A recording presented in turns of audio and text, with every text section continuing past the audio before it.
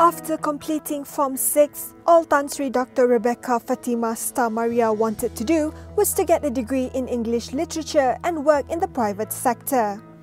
Upon graduation, she landed her first job as a cadet reporter with a newspaper company, but her civil servant parents cut short her stint. My first degree was English Lit. Okay, when you finish with English literature, what are the options? You know, those days, lah, we are talking those days. Today, you got whole bunch of, of uh, options. Uh, you either go and teach or you go into advertising. That's essentially what my, my friends, most of my friends did. They went into advertising or, or teaching or journalism. So my first uh, job was as a journalist. Huh? I worked in the Straits Times uh, and I was a cadet reporter for six months. And, you know, my, my parents were civil servants every civil servant parent wants their child to be a civil servant. So there was this, this uh, pressure for, for me to do something else, not a reporter, you know. So, okay, so, and the administrative and diplomatic service was very competitive then. Huh? And um, so uh, you have to go through exams and all that. So I said, okay, lah, you know, let's give it a shot. Huh?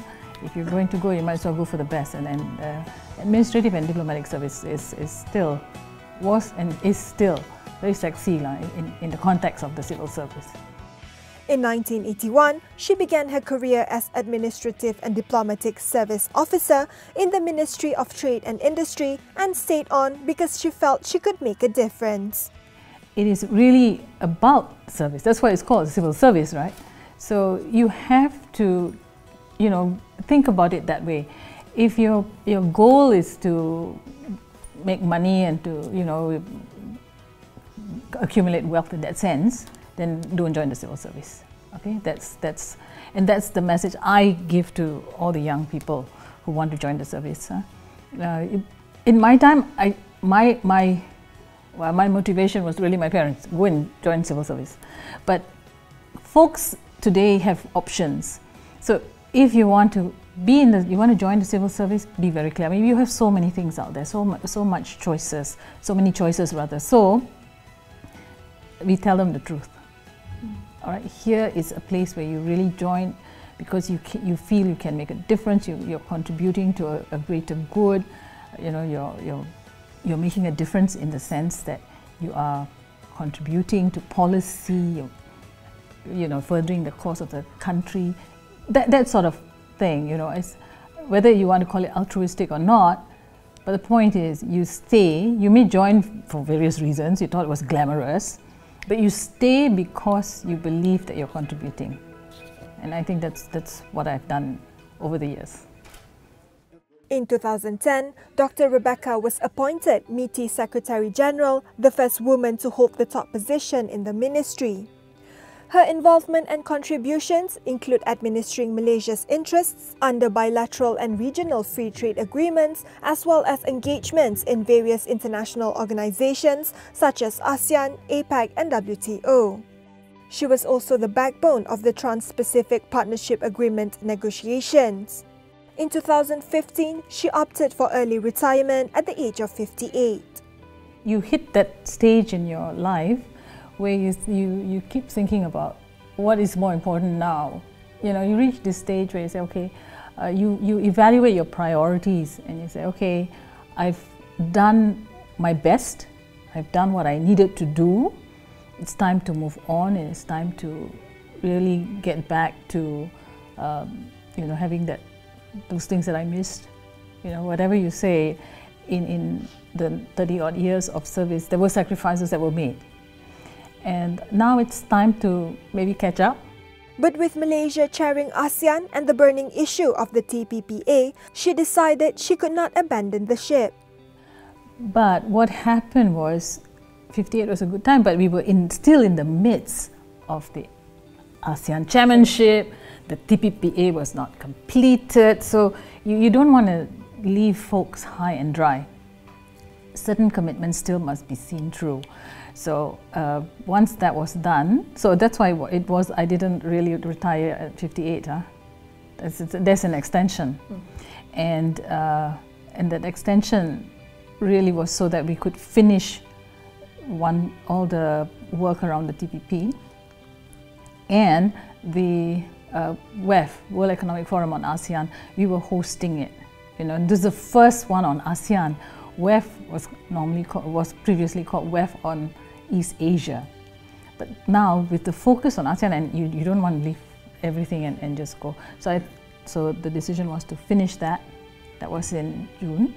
And after that just wrap up and now you see the things in boxes. Now is the time to pack up and go. So time, everything was timed, but I think everything was timed well, not because I planned it well, but I think it's also, um, I, am in my own old way very religious. So I think that it's, it's, it's the hand of God in some ways putting things together because as I retire uh, effectively 2nd of July, my daughter's convocation is on the 10th of, uh, on the 16th of July and then her wedding is on the 23rd of July. So things are falling into place very nicely. I can imagine if I was still working to try and take off from work for this almost the whole of July would have been really difficult.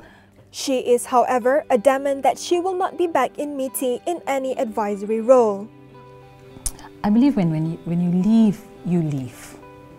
You do not uh, try and impose your values and your, your priorities or whatever onto the next person who's taken over from you. You, you make a clean break and you go. For me, when the moment you take over a post, you already must plan for someone to hand over, you know, someone to hand it over to because you cannot believe that you're indispensable and that you're going to be there forever and ever and ever. You know, you must start to plan your exit, all right? Uh, but on, on, the other hand, you must also plan to leave an organization in a better shape than you received it. I think that's, that's your responsibility. There are job offers, but Dr. Rebecca says she will be taking one step at a time. On facing life after retirement, she tells herself to stay grounded. I've been joking about it.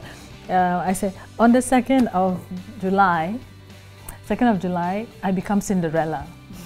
no, because now you have your driver, your car, you got people waiting on you. On the 2nd of July, nothing, nothing. You have, I say, I, will have a pumpkin, you know. You have that, honestly, all that, all the trappings are gone. So, and, and that, I suppose I've, I've had that in the back of my mind. You have it in the back of your mind that, you know, you cannot be a SecGen forever. You're, you're not going to have all these things forever. So you must be grounded, all right? So, and how do I ground it? How do I? How am I grounded? My friends from way back when don't give a damn whether sorry my language whether you're Tan Sri or Dato or whatever. You know they'll just say Becky. You know it's it's they forget sometimes that I'm SecGen of MITI. You know, at home with my family I'm just Auntie Auntie Becca and no one bothers about all your titles and the fact that you're a SecGen. They don't care. I think also being here, this ministry, there is no, there's not much of a power distance, you know, this ministry. Uh, we're quite, there's no protocol as, as you can see, yeah? we're, we're quite open that way. Um, so it doesn't go to your head. Lah. At the end of the day, uh, we all go down to your basics, right? So you mustn't let, mustn't get carried away, mustn't let power go to your head, right? End of story.